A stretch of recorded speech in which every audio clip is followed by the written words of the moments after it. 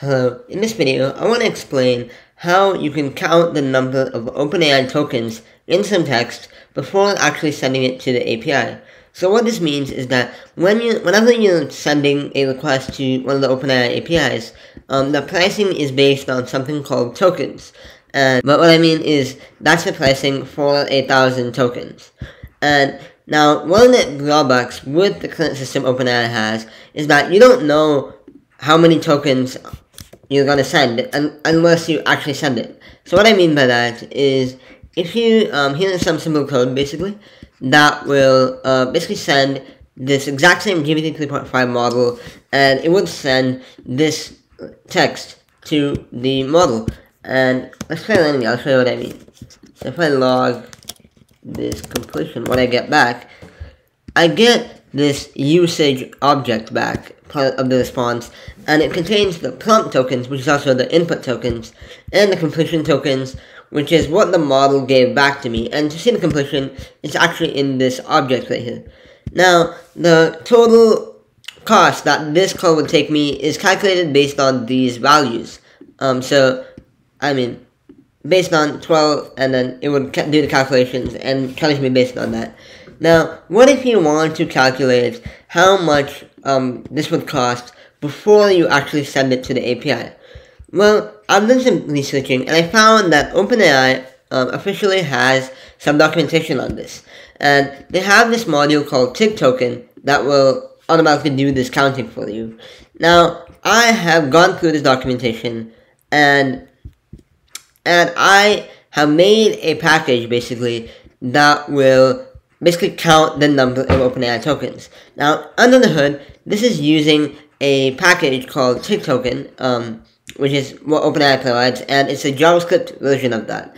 And how we use this package is, first of all, you can download it, and the, with this command, I'll leave the, this page in the description, so you can refer to that, but you can download this package, and once you have that package, you can import it using this import statement,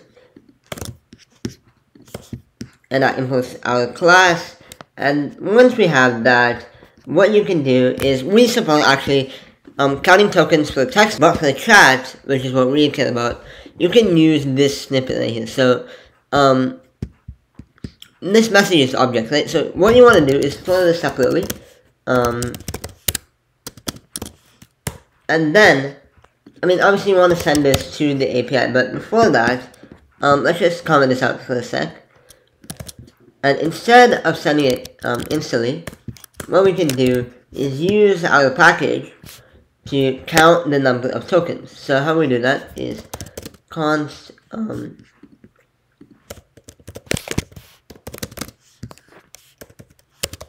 dot.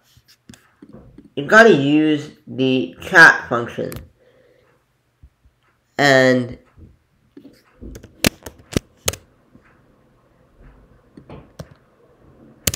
and then you gotta pass in the model name.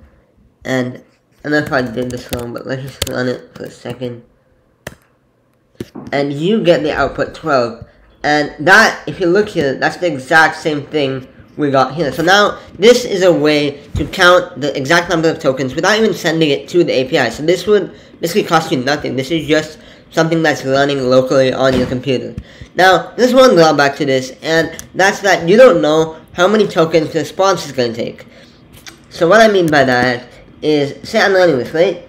So we got 12 instantly, and then we see that the completion tokens have 5. Now, there's no way to know how many tokens the response is going to take, but one thing you can do is use the max tokens param, and now you can limit it um, to a certain amount of tokens. So you can be sure that your cost will never exceed this number of tokens for a response.